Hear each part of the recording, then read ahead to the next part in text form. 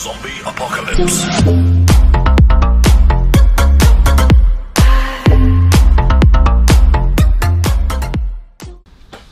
Well, hello guys, and welcome to my 20k subscriber special. Wow, 20,000. And for the celebration of this, I'm going to do a Q&A. I put a poll on my Instagram, and I've got some questions that we're going to go through now.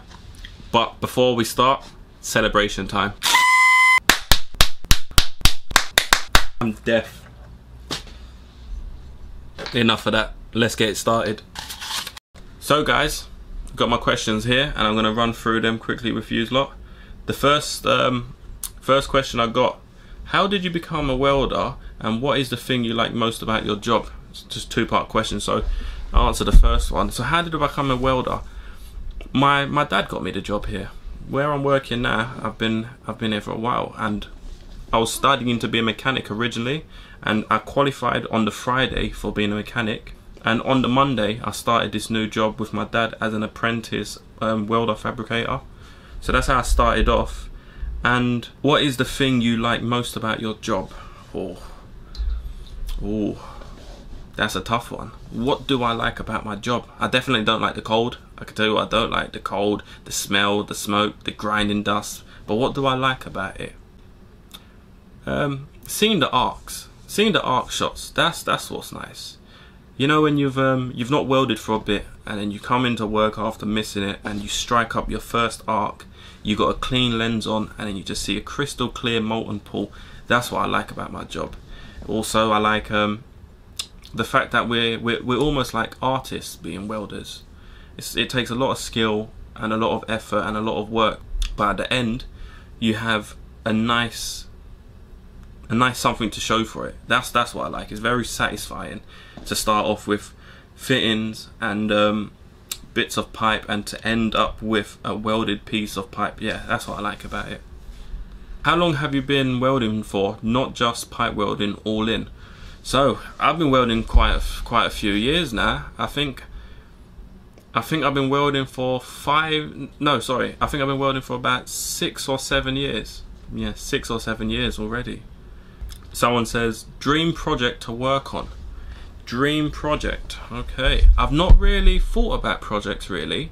That's not been on my on my mind.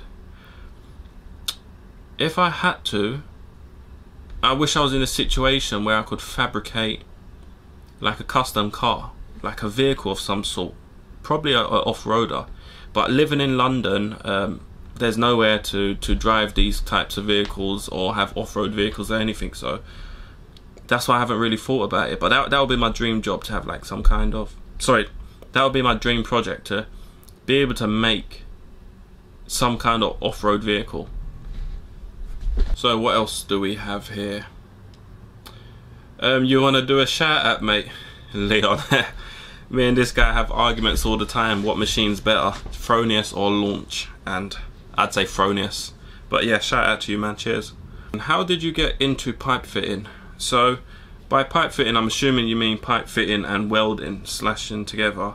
Um, so, when I finished my, my college, and like I said, I started on the Monday, I was an apprentice working my way through to the top tier. In, in this company we was at, they was making brackets and structural stuff as well as pipe. So, ultimately, the pipe is what I wanted to aim to. So, my dad said to me, if you go back to college to study pipe fitting welding as well as um, learn to become a pipe welder he'll get me a car. So that isn't really a challenge is it?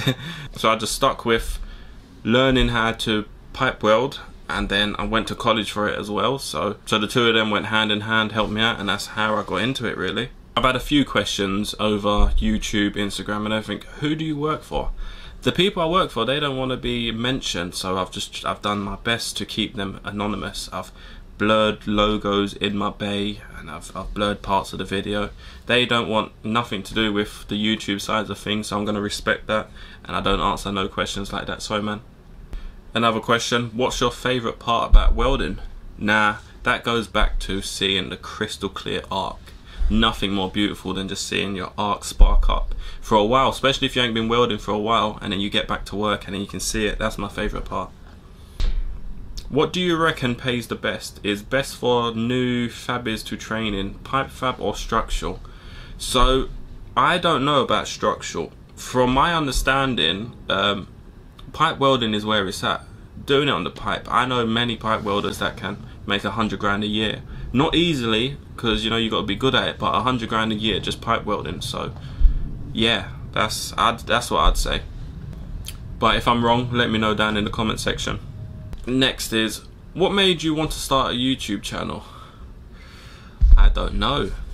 YouTube, I don't know. I've, I've grown up around YouTube. I remember, I think somewhere in back in 2006, somewhere around them times, is when I first discovered YouTube. And ever since then, it's, it's just the website that I've been on every day of my life, really, just watching nonsense videos and stuff. So, you've always seen people start somewhere and over the years just build their self up. And I wanted to um, have the opportunities to meet new people, test out new machines, um, and to share with you guys what I do. Um, I've helped out a few people at work, and I thought, why don't I help other people? Granted, I am stealing people's tips that they've told me over the year, and I'm just shouting it out to everyone. But yeah, I like I like the feeling of helping people out. It's, it's it's nice getting messages like these that I get, where people can appreciate the help that I'm giving. Because I remember when I first started to weld, I was watching all the videos, and a lot of the videos that I was watching, it had nothing to do with what I was doing. It was a lot of American videos using stick welding. There weren't any MIG welding um, videos out there, especially none doing what I'm doing. So I thought, I've got a camera. I always record myself anyway. Let me put myself out there and see the response I got, and the response is overwhelming. So, yeah, thanks for that anyway. But is what mix of gas do you use?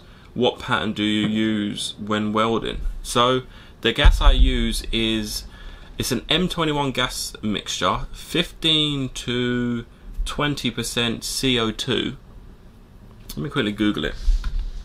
So it's Argon Universal ISO 14175 M24 um, argon CO2 mix. I think it's 12% argon, 2% CO2. Um, so that's that's an M24 mixture on on the site. But with my Fronius machine, it uses an M21 uh, mixture, 15 to 20% argon with CO2 in it. So yeah, that's the mix that I use. So yeah, that's the questions that I got answered on my Instagram. Click here or here, one of the two sides. Um, to follow my Instagram, you see a lot more videos, a lot more clips, a lot more photos, a lot more content of me rather than waiting once a week to get on my YouTube channel. So while I'm at it, I may as well answer some of the commonly asked questions that I get on my YouTube, for example, such as what mask I use, what tools I use, what machine I use. Someone asked about the gas setting, so the wire I use as well. Um, why do I weld in the directions that I weld? All this sort of stuff. I'm going to try my best to address them now. So the mask. The mask I use is a Speedglas G501 um, air-fed respirator mask.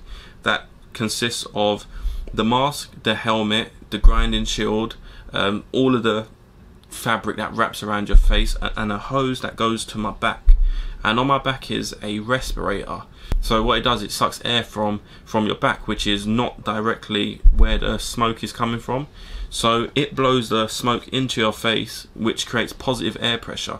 So it's pushing into your face and it's pushing the air out faster than the smoke can come in. So you're constantly breathing in fresh-ish air. The reason why I say fresh-ish air because it's only a fancy particulate filter at the moment unless you buy another um, another filter about this big that is the poisonous filter so if you don't have that, you're basically it's better than not having any respirator, but you can still smell and can hurt your, your lungs from the, the, the welding fumes. Another question I get asked is my welding technique, um, what machine I'm using, what amps I'm using, as well as the why my welds come out the way they come out. So I'm using a Fronius TPS 400i. Um, that's one of Fronius's best machines that they've got out at the moment. It's a 400 amp machine and I weld with 1 mil solid wire. So it's just the wire is 1 mil thick and it's not got flux in it, it's got nothing in it, it's just solid wire. It's not copper coated so it's that slightest bit less harmful for you than copper coated wire but nevertheless you don't want to breathe none of this in. But if this is the first time you've seen my channel and you're wondering what I'm talking about, go check my videos out. See for yourself if the content that I'm sharing is something that you would like. And if it is, hit the subscribe button. And as for the rest of you lot, enjoy your day. Thanks for watching. Um, appreciate all the support. And I'll see you lot in the next one. Thanks for watching. Zombie Apocalypse.